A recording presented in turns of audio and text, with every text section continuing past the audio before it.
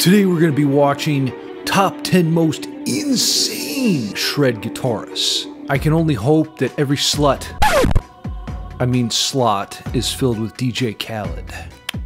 Ha ha ha ha ha ha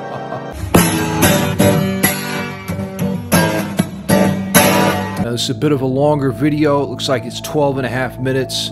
So grab yourself a drink. I've selected one fresh can of WAP juice. Mmm. Let's see what we got here.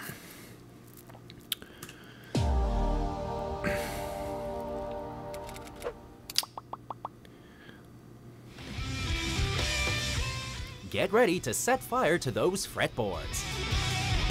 I'm ready. Looks like Tosin Abasi.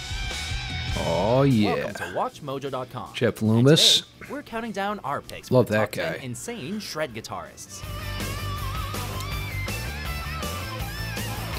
Classic Satch. We'll be ranking the guitarists who are known for their fast playing skills. All right, we're seeing some quality upon an players here. Approach. Many hard EJ. and heavy metal bands are known for their impressive guitar work, but these axe wizards think up the ante. I can already tell I'm gonna be annoyed by this guy's narration, though. Dizzying techniques. Doesn't sound like he's a real guitar enthusiast. Number 10. Maybe he is, though. Just making assumptions. Okay, Marty Friedman, number 10. Hangar This guitarist may have 18. first impressed audiences with his work in thrash metal leaders Megadeth. But Marty Friedman has continued to release manic instrumental music since leaving the band in 2000. Friedman enjoys That is a true. particularly He's very prolific. following in Japan, where fans have flocked to the long-locked guitarist's heavy, technical, and melodic sound. Marty Friedman, or MF for short, are his initials. The dude is so musical. Friedman also lent his axe skills on a number of guest spots with Christian metal group Tourniquet, while continuing What? to earn praise for the genre-defining work he helped create on Megadeth's classic Rust in Now, I did not know that. And I used to listen to Christian music, Christian death metal, actually, is what I started out listening to. Really horrible stuff. Uh, interesting fact there.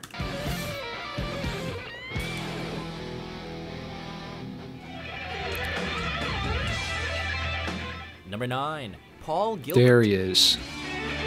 He's got those white Randy Rhoads Marshalls. Very cool. Irreverent humor and no-nonsense technical skills are two defining Dude, Paul Gilbert. of the next guitarist on our list. Such a beast. Paul Gilbert. This Illinois-born musician first rose to fame in the mid-1980s with the speed metal group Racer X, before forming the highly successful hair metal group Mr. Big, alongside bassist extraordinaire Billy Sheehan. Somebody should start a group called Mr. Small and just like cover all the Mr. Big songs, but in the wrong keys, perhaps. Make them from major to minor. That would be an evil thing to do.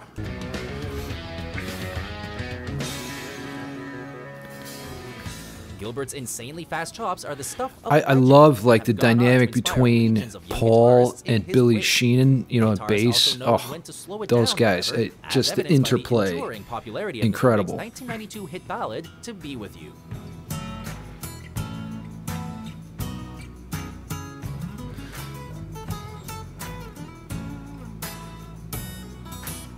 That's a well done solo, even though it's maybe a bit corny. Joe Satriani. The alien. I need some WAP juice. Although some of the guitarists on our list may enjoy niche Joe's incredible. status among their Incredible fan base, tone, feel, few of them can lay claim to dynamics. He's a real Grammy composer. That accolade does belong to our number seven shredder, Joe Satriani.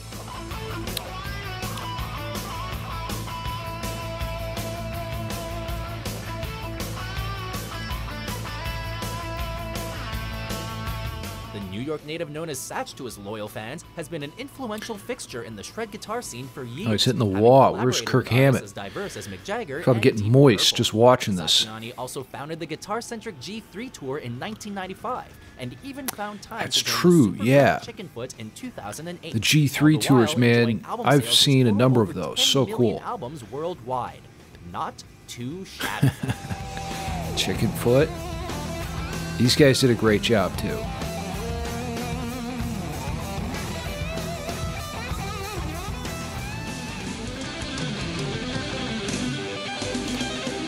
Number seven, Jason Becker. Becker. bum, bum.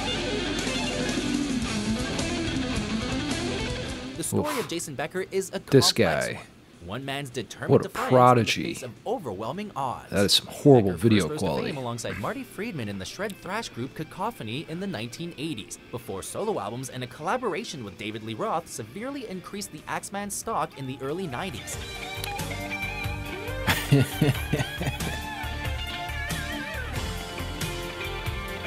Since then, the guitarist has fought a battle with ALS, or Lou Gehrig's disease, losing his ability to speak. Shout out to Herman Li in the doing that fundraiser. Becker, I know he raised a lot of money for Jason. computer And serves as an inspiration to fellow musicians through the passion and Wow. love shows for the creative process. Yeah, he's got like this program where he can compose with his eyes. oh so M so much I T it D Wow, that's a lot of work. drives me nuts.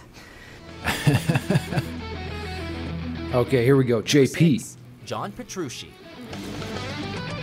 See, nope, nope. You did not say his name correctly. Number six, John Petrucci.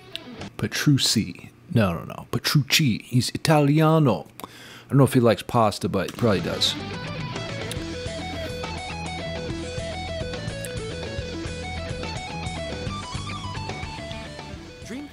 Long been one of the reigning kings of progressive metal music, thanks largely in part Uh, they the six invented progressive efforts of the metal. I mean- and co-founder John Petrucci. Definitely. Right? Who else would started prog metal? It's got to be DT. Listen to that tone. So creamy. Moist. This New Yorker is another shredder who Hmm. can move from incendiary instrumental passages to moments of calm and quiet. Oh, I love that classic referring to his Ibanez Theater bandmates to custom he had. stamps on the band's songs. Petrucci has been a longtime guest. What on up with the video quality here, guys? That is intensely work on Dream foul. Theater's more recent albums, making him a threat both in front and behind the scenes. Ah, from Images and Words. Images and Words and Awake, I think, are my two favorite DT records. Oh, here he is. The Number bucket. five, Buckethead.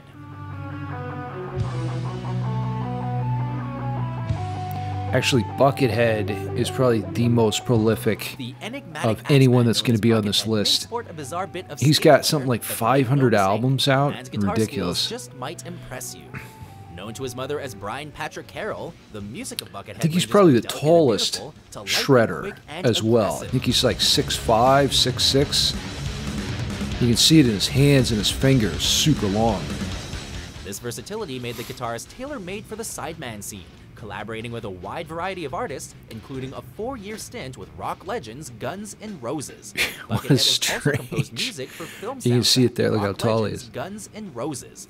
Buckethead has also composed music for film soundtracks, making him a truly diverse and Cool. engaging shredder who can do just about anything. He can also do nunchucks moves. I don't know if they're going to show that. This is like early 2000s era GNR. Number four, Michael Angelo Batio. What a beast. Nothing exceeds like excess. That No Boundaries is very musical. I wish you would make more compositions like that that have like uh, mm, just real deep compositional integrity. To the letter by one Michael Angelo Batio, a notoriously over-the-top shredder who made a name for himself in the 1980s as lead guitarist. Literally over the top sometimes. He plays over the top. Batio's style is notable not only for the man's flashy technique of playing under and over the fretboard, but also for his mastery of the multi-necked guitar. The quad axe. Indeed, it seems as if Michelangelo's instrumental prowess simply can't be contained by only a traditional Uh. guitar. The man's dizzying speed and ambidextrous approach truly coming to the forefront on his dual and quadruple necked models.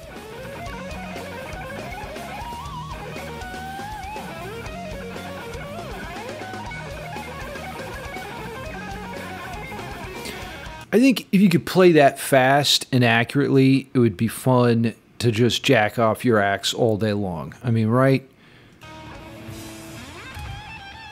Okay, EVH. Number three, Eddie Van Halen.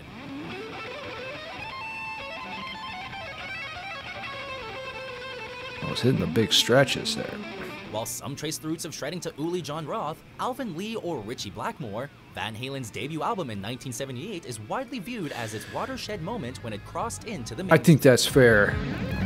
You know, what do you think in the comments below? Who started shred guitar? Some people say Yngwie, um, Eddie, Uli John Roth. Uh, I think EVH is pretty fair. Pretty fair to say that because that was like late 70s when he did Eruption.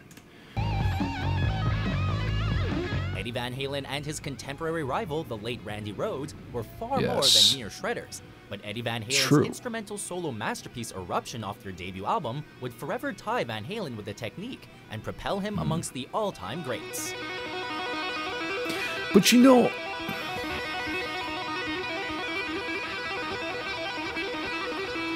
well, people get confused about this. It's not just because of the technique. It's it's what he was playing with the technique, and that is just pure music. Listen to it. It's it's incredible. He's got all these like classical movements and substitution chords. If it sounded like shit, nobody would have cared about the technique. So don't get confused about that.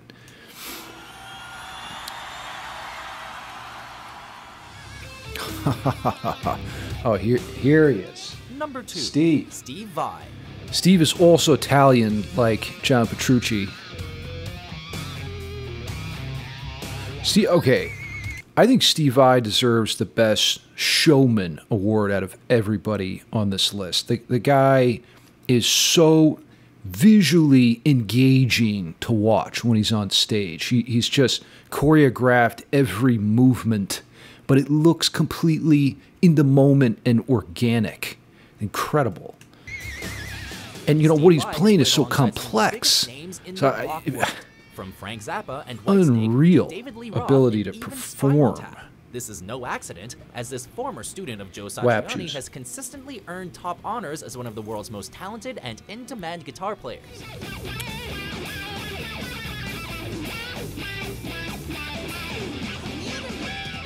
Vai's style is almost Dude's got a effortless in its snake. fluidity, it an Oh, was that McRocklin? I think that was McRocklin, right? in-demand guitar McRock? Yeah, there he is. The kid playing guitar. Shout out to McRocklin. In its fluidity, lending it an almost otherworldly style all its own. This has led Vi to lending his talents to the world of cinema, playing on the soundtracks for John Carpenter's Ghosts of Mars, as well as the most excellent Bill and Ted's Bogus Journey. Yeah, I knew that.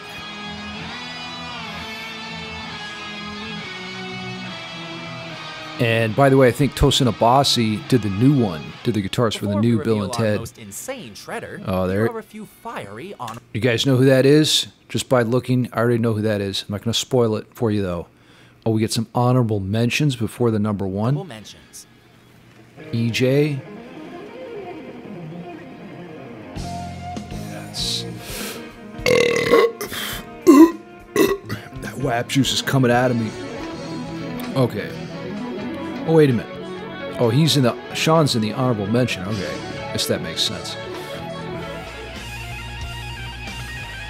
Zach didn't make it either. Honorable mentions.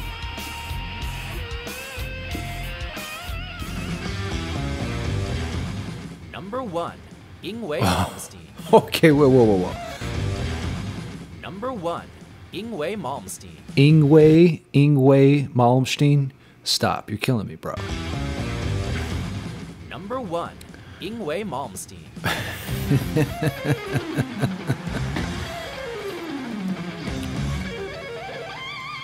Diminished chords.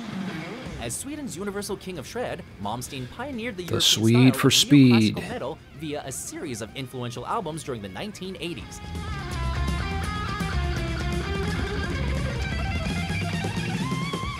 Malmsteen quickly earned a reputation Incredible not only for his fiery musicianship, but also for his equally volatile temper, which would result in the guitarist ousting multiple members of his band over the years. This is true. Still, True fact. contribution to the world of explosive shred guitars simply cannot be overstated, as this Swedish sensation managed to blaze his own unique trail, one which practically dared other guitarists to try to step up their game to his level. Yeah.